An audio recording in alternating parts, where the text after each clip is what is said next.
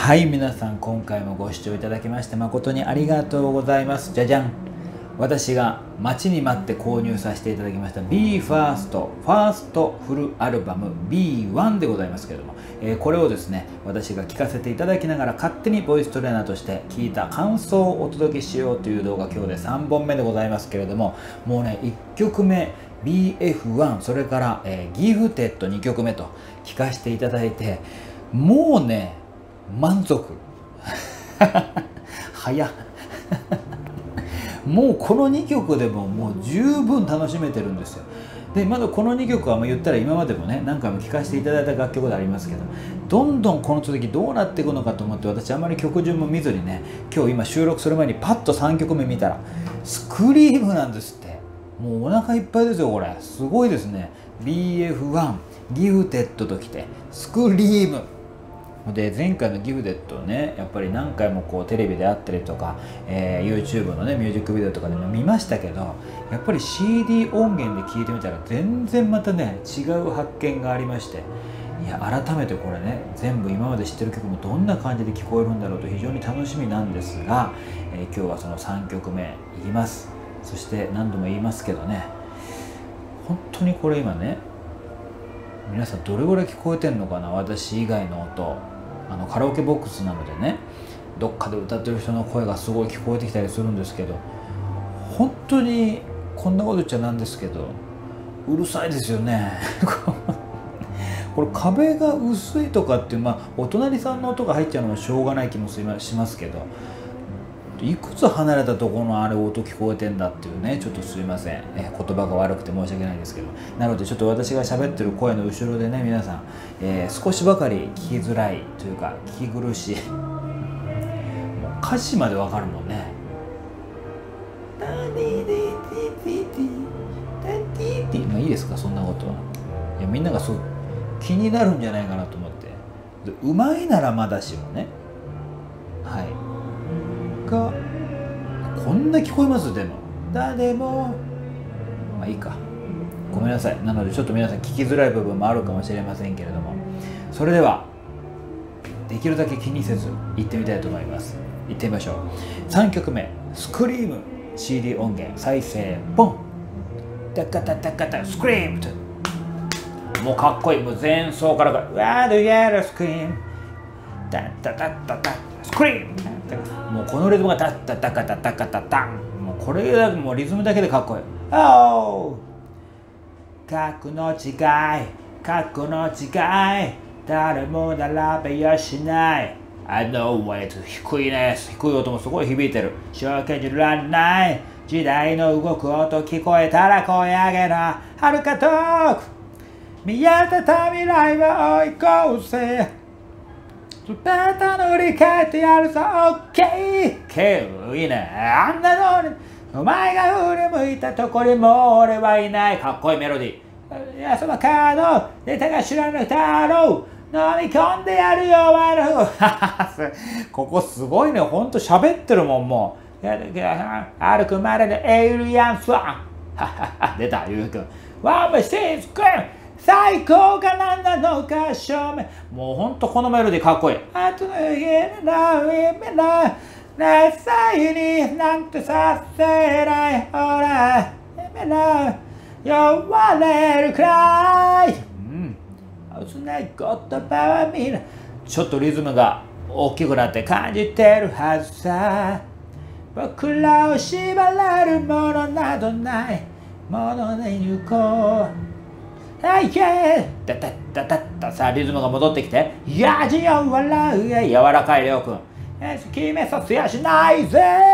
言ってることもかっこいいよね、ほんと。燃え込んでるだけで最初からなん繰り返しようわっじゃすごい低いよね、これ、りょうきくん。メリマグバットガイトライチガートブランドボーイドライ古めたケージこの組み方こんな早く言えない。真夏にさらに聞いたエイリアンさん。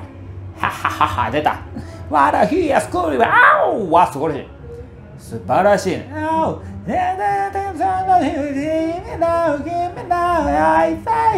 なんてさせら。もうさせらさとせの一回給付もかっこいいね。壊れるくらいマスクはないあ君もそうだろういい誰かにジャッジさせるなよ。難しいですけどね。心もその子はもう君のためのもの。へコロッコロ回りますねメロディーのところで。ダンダダンダダン。ダダンクリーンダダダンダダンダダンもう音ほんと少ないここまでダダダンダダンダウダン最強が何なのか証明しようえー、圧倒するこのステージ上の方のフェイクすごい綺麗に聞こえてる。あいえ。この辺この辺と両方いますね。壊れるくらいクリーム。ああわあ綺麗な切り方。イエーイ。あイエーイ達成ないオーライ。壊れるくら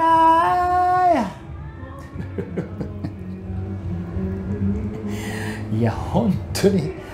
本当にすごいんですけど、はあ、すぐ現実に戻されるわ。なんか聞こえてくる音で。はいもうあんまりね皆さんすいません。何度も言って、ね、気にしないようにしましょう。いやー本当にすごいね。あのー、まあ、この楽曲はねまあ、よく CD, CD じゃないあの CM でも流れてるんですよね。これもあのスクリームという楽曲が先行で、えー、配信されたのもあって。このサビの頭の「最高が何なのか証明しよう」めちゃくちゃ書くのですよこのフレーズ。えどこですか？こうか。最高が何なのか証明しよう。これ本当にキャッチーなというかね耳に残るメロディーそしてそこに綺麗に乗っかってる歌詞それがうまくこう噛み合ってるからこそパッと聞いた時にみんなの耳にねやっぱりあの残るんだと思うんですけどこの曲自体私がまあメロディーもリズムもすごい好きなんですけどでもこうやって通して聴いた時に、まあ、途中の「ハハハ」なんていうのはね、えー、パフォーマンスで見る時の良樹君それから、えー、竜兵君もう素晴らしい表情だったりこう表現力で、えー、私も大好きな場面なんですけどやっぱこう改めてねこうやって楽曲を聴いてみると結構メロディーに対してすごく多く言葉が載ってんですよね。だって最高が何なのか。最高がってこれ。音は123タタタタタタって 3, 3つ3つで鳴ってるんですけど。でもそこに最高が5個言葉が乗っかってるじゃないですか。まあ、サインもコウも、まあ、一つの音符に乗っけやすい言葉がチョイスされてるので、えー、すごくまあスムーズに聞こえるんですけどこういう部分がねたくさんあるんですよスクリームの楽曲、まあ、に限らずだと思うんですけどこの楽曲は特に私は今聴いててそう思いますね。なのですごく言葉がいっぱいうわーっとメロディーに乗っかっているのにそれが忙しいじゃなくて心地よく聞こえてるっていうのはこれはねやっぱりそのメロディーに対して歌詞を乗っけることのまあセンスと私が偉そうに言うのもまあ変な話なんですけどあのやっぱりねこのたくさんの言葉少ないメロディーにどんどん乗っけていくっていうことをやる方たちはいっぱいいますけどそれがねうまく乗っからないとねガチャガチャガチャガチャって聞こえるし下手するとメロディーに対して歌詞の数そんなに多くもないんだけどもなんかこうメロディーにうまく乗っかってないなというかあのパッと聞いただけでは何て言ってるかわからないみたいに聞こえてしまうみたいなことが結構起こったりするんですけどこの「スクリームという楽曲はね特に今 CD 音源で聞いてみたらすごくたくさんいろんなメロディーも動くし言葉の中にこうあ違うメロディーの中に言葉が乗っかってるんだけどもこうやって歌詞カード見ないで聞いててもちゃんと何のことを言ってるのかが分かるという。これは7人それぞれの滑舌の良さということというよりかはやっぱりさっき言ったその歌詞の乗っけ方であったりとかそれからねまあ、どういうふうに作ってるかその時によっても違うかもしれないんですけど自分たちが思ってることを一番簡潔でなおかつ分かりやすい言葉をチョイスしてかっこいいメロディーにボンボンボンボン当てていくという。ということがうまくできているから、えー、すごく、うん、聞きやすいというか内容も分かりやすく聞こえる。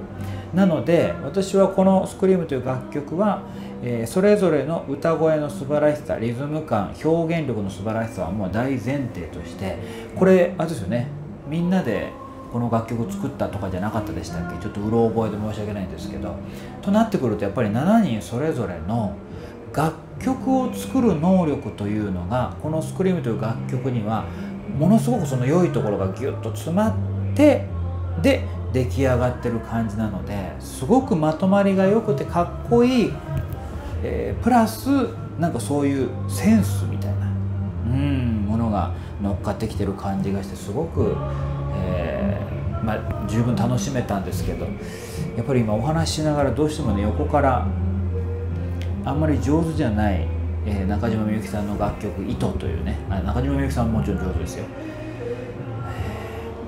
ちょっと私あの本当ね余談ばっかりで申し訳ないですけどボイストレーナーというお仕事をしてましてどうしてもですねそういうふうに思わなくてもどこかから聞こえてくる誰かの歌声に対してどうしてもこういろんなことを考えてしまう癖がありまして、えー、まあ、カラオケなんかでレッスンすることが多いんですけど一番困るのがこの近くにいるお部屋の方たちの歌がとても言いたいことの多い歌声だった場合どうしてもこうレッスンの中でもお話ししながらそれが聞こえてくるからねちょっとの音程がとかリズムがとか歌い方って思っちゃうんですけど今スクリームの楽曲を本当すごいかっこよくて、えー、熱く語っていたんです、まあ、言いたいことは言えましたけどでも後ろからずっと聞こえてくるから途中からちょっともうね気持ちげんなりしちゃって本当に申し訳ない。私の勝手な都合なんですけども。ということで、えスクリームは全く関係ございませんので、えまとめてあえて言うとすごい音量大きな、えあえて言うと